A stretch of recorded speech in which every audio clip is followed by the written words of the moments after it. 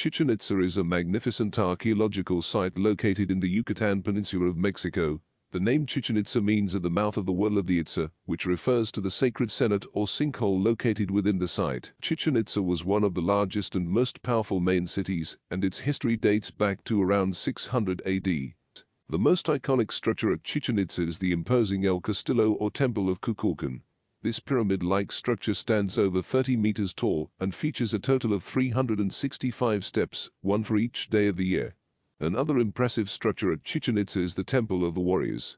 This temple is adorned with columns carved in the likeness of warriors and features a large open plaza.